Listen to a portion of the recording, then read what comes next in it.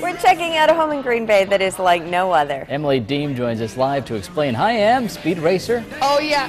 Yep, here comes Speed Racer, Rachel and Pete. Look at me, I'm the blue one. Here I go. Craig Nothstein, he's the red car. I think I'm kind of getting the hang of it. Craig, what do you think? Um, yeah, I think you're getting it figured out. You're staying on. Oh, no, no! So that's, that's part of the battle. This is so much fun. You kind of get dizzy, though, when you're looking at it. Um, I, I mean, I can't take my eyes off of it because I want to beat you, Craig, so bad. And there I go, I passed you. Uh-oh. Could you imagine if your home was designed after a slot car racetrack like this one here? Well, oh, Craig, you're off the track. You just got Uh-oh. off the track. That's- Well, Craig Nothstein, who is right next to me, his home actually is designed off of this. I might actually take my Speed Racer helmet off. Is that okay? You can take that off. Got a little bit of helmet here. I have to cheer for myself because I didn't go off the track. Yeah, that's Craig. the real. That's stayed the, on. that's the Speed Racer helmet too, isn't it? It is the Speed Racer Mach helmet. And if you take a look behind Mike, you can kind of see you have a little Speed Racer collection. Because I literally feel like I'm in a store this morning, Craig, with all of Yeah. your slot car racing stuff in here. So tell me a little bit about your Speed Racer collection. Um, I think that actually started with uh, a friend. Kind of, you know, that's how a lot of these things. friends add to it, friends start collections, and they bring things over. And it might have been the lunchbox. the lunchbox. mm-hmm. And then, you know, we'd find action figures, well, we'd add to it, and there you go. Well, race let's- set, Speed Racer race set. and let's talk about this track we have right here because your home is actually kind of It is modeled off of af- that. a- After a racetrack. Um, It's a vintage 1960s Aurora tub, tub track that has a modern CNC routed PVC track built into it.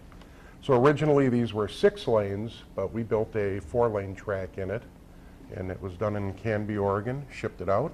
He built the track, shipped it back, and then we gel coated it the uh, color of the roof. And yeah, that roof we're talking about is on the outside of his home. Let's go ahead. We have some video of you, uh, for you of that, um, the outside.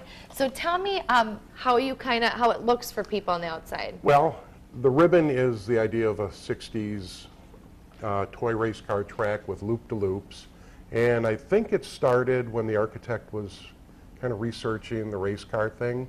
He found a, uh Fiat had a test track built on top of a building in Italy. So the test track was on the roof, and I think that's what started the whole track, roof, loop-de-loop, and we'll just run the yellow ribbon through the whole uh, entire project. It really is unbelievable. It's a home like no other. Yeah, it is uh, one of a kind. So tell me, you've been featured um, on different TV a shows. couple uh, HGTV shows, World's Most Extreme Homes and Offbeat America. Offbeat America kind of focused more on the slot cars, and Extreme Homes was more about the house. yeah, and magazines too. I mean, even some Magazines, books. it's been published, uh, Architectural Record, 2003.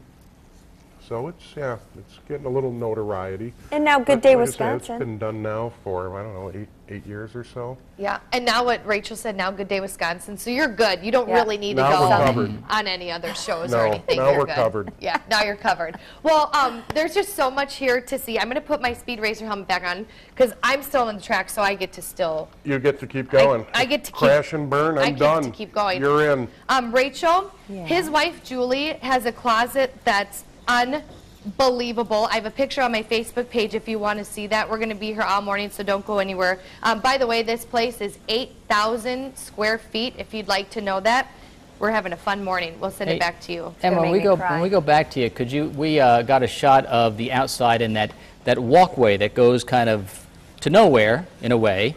You know. Yeah. Could you tell us about that Yeah. next time? Yeah, we'll definitely tell you about that next time. No Okay. problem. Good deal. Thanks.